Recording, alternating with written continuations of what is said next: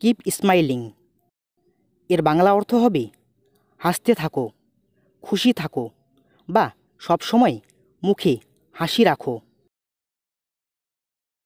উদাহরণ always be happy and keep smiling সবসময় হাসি খুশি থাকুন বা সবসময় মুখে হাসি নিয়ে থাকুন।